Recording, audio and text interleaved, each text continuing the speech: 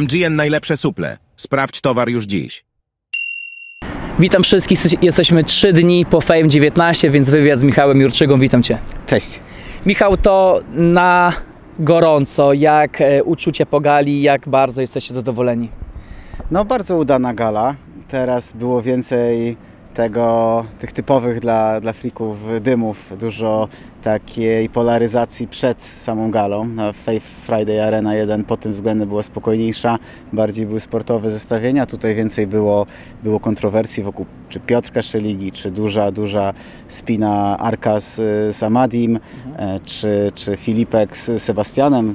Dosyć zaskakująco to, to, to eskalowało, także tutaj ta gala różniła się tym, że było też na programach przed wiele, wiele emocji, ale w trakcie też myślę, że, że karta oddała, nie zawiodła. Takie 8, 8 8,5 na 10 bym dał. To tak jak Boxel widziałem, że oceniał też tak? na ósemeczkę. No. Przy, szczerze jeszcze, jeszcze nie, nie, nie widziałem Michała e... ale tak, tak bym to ocenił. No 8, 8,5. Michał, zanim przejdziemy do całej karty, to e, pomówmy też e, o tym, co się działo przed, bo było takie zdjęcie, że cztery osoby nie mają wstępu na galę Fame. I chciałbym, żebyś teraz przybliżył naszym widzom, dlaczego akurat te cztery osoby nie mogą się pojawić na galach Fame'u. Tak, e, jedną z tych osób był Tomek, szalony reporter. Mhm.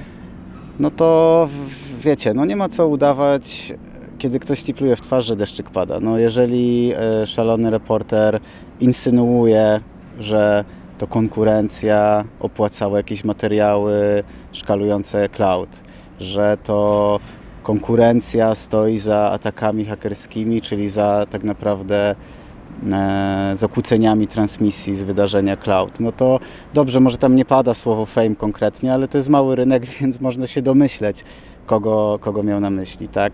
No to nie będziemy na to patrzeć biernie, to no po prostu nie, po, po co w, taki, w takim razie udawać, że jest wszystko ok? E, I wiesz, gala to jest święto. To jest tak jakbyś urodziny wyprawiał na przykład i chcesz je spędzać, z, chcesz świętować z, nie wiem, z najbliższymi albo z ludźmi przynajmniej neutralnymi, no bo bilet mogą też kupić sobie, e, wiadomo, że nie tylko osoby są zaproszone na gali, nie? Więc no stąd, no wiadomo, że było tego. Wcześniej jeszcze, jeszcze jak mieliśmy umowę przecież z szalonym reporterem, no to po jednym z face to face'ów sugerował, że zapłaciliśmy Robertowi Pasutowi, Jackowi Murańskiemu, żeby to był spokojny face to face bez rękoczynów. No to są, wiesz, bo świat internetu jest może taki, że takie zarzuty, insynuacje przechodzą sobie i bez echa i jest jakaś wymiana tweetów, ale pamiętajmy, że federacja to też jest na przykład Rafał i Krzysztof. To są poważni faceci, poważni biznesmeni i oni nie będą wokół takich insynuacji i zarzutów przechodzili obojętnie. No oni inaczej na to do, do tego podchodzą, tak? E, więc tutaj takie jest uzasadnienie. Zresztą chyba wszystko jest już jasne, no bo tutaj i Rafał korespondował z szalonym reporterem i Boxdel jeszcze na Twitterze tam to uzasadnił i odpowiedział. Fajnie się wszystko skończyło, bo chłopaczek, który się wzruszył, kiedy dostał kody pay-per-view, dostał nie tylko te wejściówki w bardzo do, dobrej lokalizacji, ale też całe oprowadzanie, spotkał wszystkich tam swoich, swoich idoli, zobaczył trochę zaplecza fejmu, więc dzieciak miał, miał mega frajdę, więc fajnie, że nie zawsze się to udaje, ale fajnie, że Tomek z tego co wiem dostał, nie wiem czy już zwrot pieniędzy, na pewno do, dostał dyspozycję, żeby, żeby kasę jaką wydał e, dostał z powrotem. Dzieciak ma niezapomniane wrażenia, więc, więc taka spinka, która z happy endem można powiedzieć. No my co no. E, kto tam był jeszcze? Tam był jeszcze taki... Denis Załęcki?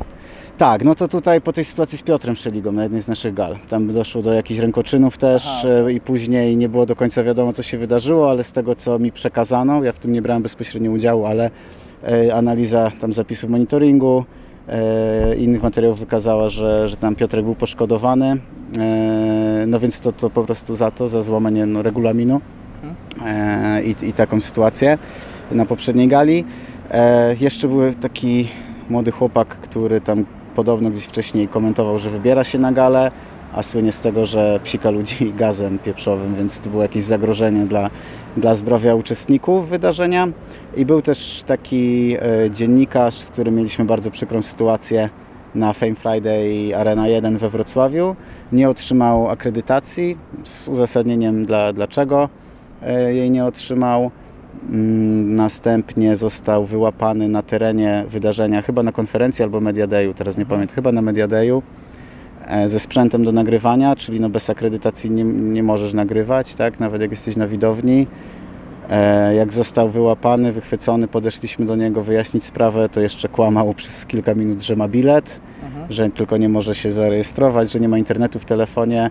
E, Po chwili się okazało, że nie ma nawet wyjściówki, czyli wtargnął jakby bezprawnie na teren, no więc tutaj za takie zachowanie no też, też, e, też jest ban, no bo, bo jest to niedopuszczalne. Nie? Także tak, ka- każda, każda z tych osób no, no jest jakieś uzasadnienie i tak to, takie były tego powody. Dobra, to mamy wyjaśnienie, to lecimy dalej. E, Szeja wygrywa mm, swoją walkę z Dominiką Rybaki. Czy teraz Szeja dostanie walkę o pas? No bo e, wszyscy mówią, że no nie widzą e, kandydatki, e, które mogłyby pokonać właśnie Szeję w oktagonie. Wiesz co, no należałoby jej się, bo rozwój jaki zaliczyła, a też w ogóle sp- sportowy, jak się w to wkręciła, no to teraz, teraz prawdopodobnie jest to jedyna droga, jaka się nasuwa, że, że ta walka o pas powinna zostać zorganizowana. No ale też jest, wiesz, no świeżo pogali, trzeba, trzeba ten, to dobrze przemyśleć, z kim ją zestawić, jakby to miało dokładnie wyglądać, nie? Ale przynajmniej jest konkretna odpowiedź, że raczej tak. Raczej tak, ale tak, raczej tak, raczej tak, no zobacz.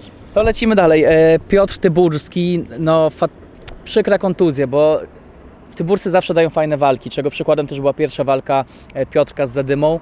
No i niestety pech, e, co się stało ze stopą i właśnie pytanie, czy wiadomo, co się stało ze stopą Piotrka, bo na początku było mówione, że jest pęknięta, potem, że może być zwichnięta, także co tam się stało? Uśmiecham się nie dlatego, bo kontuzja to nie jest temat do śmiechów, ale e, dzwoniłem do Piotrka dzisiaj, dzisiaj rano. Na wakacjach jest. Na wakacjach jest i, i najlepsza odpowiedź jest, że odebrał Cześć Michał, jest super, mam takiego buta dmuchanego, mogę następować, jestem na Cyprze, jest gitara, wracam, to od razu lekkie treningi, więc myślę, że wszystko dobrze. A jak go dopytałem, no to mówił, że nie ma tam złamań raczej, czy nie, nie ma złamań, jeszcze tomografia byłaby wskazana, miał zwichnięte te palce, więc lekarz to krótko skomentował, że bardzo bolesna kontuzja, ale dla jakby tempa regeneracji e, jest to dobra diagnoza, że powinien szybko wrócić do, do sprawności do treningów, więc raczej nie jest to nic poważnego, a teraz pozdrowienia na Cypr. Piotruś, baw dokładnie. się dobrze, wypoczywaj, zasłużone wakacje i z tego co słyszałem, to nie wpływa to na, na jego nastrój, więc Także zdrówka Piotrek, wracaj do zdrowia. Dobra, e, jedziemy dalej. Ferrari kontra Tańcula, main event ostatniej gali. E, Panowie, e, wszyscy wiem, że już mają inne walki, Mm, na pewno nie walczą ze sobą, ale panowie powiedzieli, że no, chcieliby tego rewanżu. E, Na pewno widziałeś to, co działo się w Mediarumie.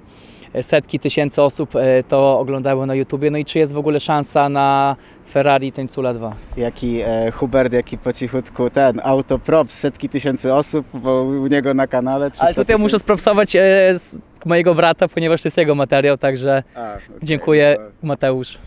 E, tak, no się czym chwalić, piękne viewsy. E, no rewanż wydaje się oczywisty, tak? E, bo bo była, było dużo emocji wokół tej walki. Sama Bliska walka. bliska walka, ale werdykt tutaj między panami była taka polaryzacja, że wszyscy oczekiwali jakiegoś spektakularnego e, zakończenia, Mm, więc myślę, że rewanż, rewanż byłby oczywisty.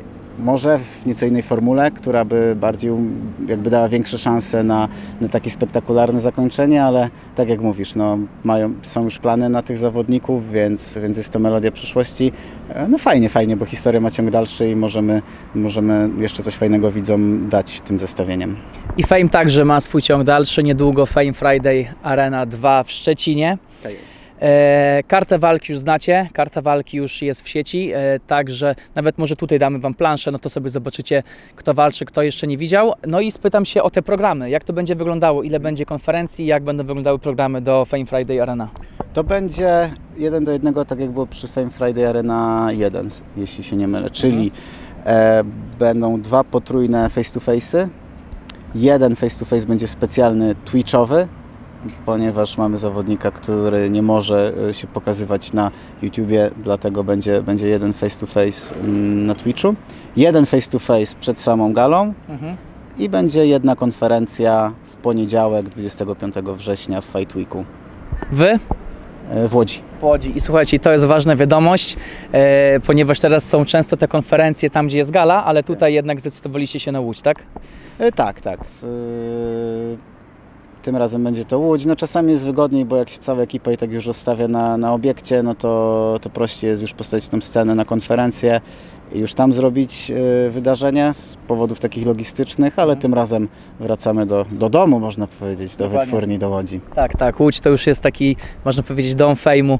E, porozmawiajmy też, bo sporo nowych twarzy. To jest to, co mówiliśmy jeszcze przed mm, pojawieniem się Fame Friday Arena 1, że teraz będzie 8 gal w roku i żeby zapełnić tę kartę walk, to potrzeba jednak trochę więcej tych zawodników, przez co będą się pojawiały nowe twarze, czego jesteśmy świadkami też na e, właśnie tej karcie walk.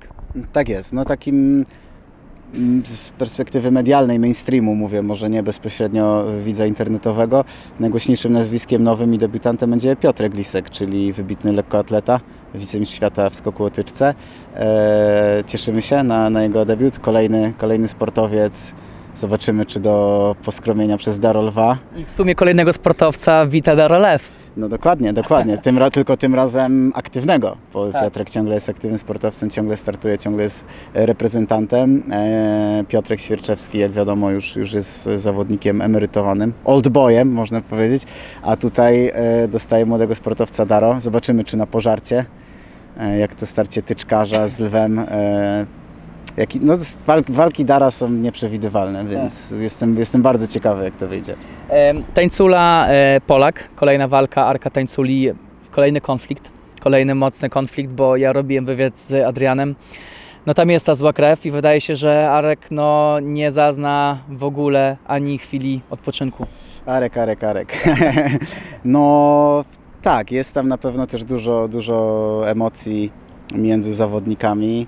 Rzeczywiście Arek z jednej walki takiej, można powiedzieć, że ta z wiewiórem była taka spokojna, sportowa, to teraz, to teraz do kwadratu e, Arek oddaje, jeśli chodzi o, o takie zestawienia z konfliktem w tle. No sam jestem ciekawy, jak do tego panowie podejdą. Na pewno też e, walka zapowiada się dobra, no bo, bo co by nie mówić, Adrian i, i Jarek mają te umiejętności, już są jak na nasze standardy doświadczonymi No, zawodnikami. Z tego co wiem też, też e, w treningu regularnym. No więc du, du, dużo osobiście oczekuję po, po tym zestawieniu. E, Alan Zadora, tam była historia e, z obozem, my nawet kiedy się przybliżyliśmy na konferencji, e, kiedy walczył Alan. Z Zadymą chyba, to my wtedy tak o tym mówiliśmy. Powiedz mi, bo Dominik Zadora walczył w Prime. Jak wygląda jego sytuacja kontraktowa? Czy się dogadaliście z Prime, czy już to był wolny zawodnik? To był już wolny zawodnik. Dominik miał umowę na jedną walkę, także bez żadnego tutaj konfliktu interesów mógł z nami podpisać, podpisać umowę i, i dołączyć do, do grona zawodników Fame. No i słuchaj, ten main event, Boxdel kontra Paweł Jóźwiak. Paweł wraca do fejmu. Em, Walka jest w fejmie, ale ten rewanż jest też w innej formule, bo jest formuła K1 e, i dlaczego też jest właśnie taka formuła? Wiesz co, od dłuższego czasu chyba widać, że te zestawienia e, K1 w małych rękawicach są bardziej emocjonujące. Mm, Na przykład teraz sportowo bardzo dobra walka dziewczyn, ale pojawiały się komentarze, no, że dla widza oczekującego emocji takich spektakularnych, e, spektakularnych e, wymian, no to, to nie była tak bardzo atrakcyjna, nie? E, Mimo, że jest na dobrym poziomie sportowym. No to K1 bar- wy- wymusza, wymusza częstszy kontakt, częstsze wymiany. Mm, Więc y, tutaj myślę, to, to, jest przede, to jest przede wszystkim motywem, żeby te, ta walka była atrakcyjna, bo ich poprzednie zestawienie generowało dużo emocji ze względu na emocje między zawodnikami, ale, ale no też tam było dużo przepychania, klatka rzymska, dociskania. To, to też nie jest, nie jest to, co najbardziej cieszy widza w trakcie samego e, wydarzenia, w trakcie samej walki. Nie? Więc tutaj liczymy, że z zmianą formuły jeszcze dodamy trochę oliwy do ognia i te, ta walka będzie jeszcze bardziej atrakcyjna. No ja jestem ciekawy, ja jestem ciekawy, jestem ciekawy Pawła Jóźwiaka znowu na konferencji i jego przyjęcia przez widzów. E, dwa ostatnie pytania o dwóch zawodników. E, Pierwszy jest to Tomasz Adamek, który pojawił się też na ściance fejmu, był z Mateuszem Borkiem obecny na gali Fame 19. No i pytanie, zbliża zbliża się ta gala numer 20. Tomek duże nazwisko, bardzo duże nazwisko. Połowa Polski kiedyś się wstawała na walki Tomka, więc powiedz mi, czy jest szansa, że pojawi się też on w klatce Fame? Nie wiem, czy pamiętasz naszą ostatnią rozmowę. Długi jej fragment był o Krzysztofie Diablo-Wodarczyku, tak, tak. więc tamto doświadczenie uczy nas tego, że dopóki nie będzie wszystko dopięte na ostatni guzik, to, to, to nie będziemy e, się niczym ekscytować, ani niczego deklarować, obiecywać. E, ale też będąc w pełni szczerym i, i tutaj bez, bez żadnych, żadnych ogródek, e, no, na, na pewno fajnie by było, jest gdzieś w orbicie naszych zainteresowań, ale na chwilę obecną mm, nie są takie zaawansowane rozmowy, Aha. więc nie mogę, będąc go, chcąc mówić prawdę, nie mogę zadeklarować, że coś, coś mamy, jakieś konkretne daty e, umowy. Nie? No na pewno przy tej okazji by, były rozmowy, nie tylko przy tej. Bardzo w ogóle czujemy się zaszczyceni, bo to była pierwsza gala freak fightowa, na której to Masz Adamek w ogóle zagościł, nawet w takiej roli widza. Z tego co wiem, bardzo, bardzo zrobiło to na nim duże wrażenie cała oprawa e, widowiska. Mamy nadzieję, że to też go trochę skusi, bo, bo mia- miał okazję wychodzić przy pełnych trybunach akurat, no bo był, tak wybitnym pięściarzem, ale, ale że ta nasza otoczka może też trochę mu tam serce mocniej zabiło. Ale zobaczymy, jest to melodia przyszłości, na razie tutaj nic konkretnego nie można powiedzieć. Ja już sobie wyobrażam wyjście Tomka Damka przy e, utworze Pamiętaj. Od razu ciary. E, no i jeszcze jest jedna osoba. Mm, była w fejmie, później e, wasze drogi e, się rozeszły. Jacek Murański ostatnio pojawił się na konferencji i wspierał Amadeusza Ferrariego w walce z Arkadiuszem Tańculą. No i moje pytanie, czy jest szansa, że Jacek Murański wróci do fejmu i wróci też do klatki fame? Mhm.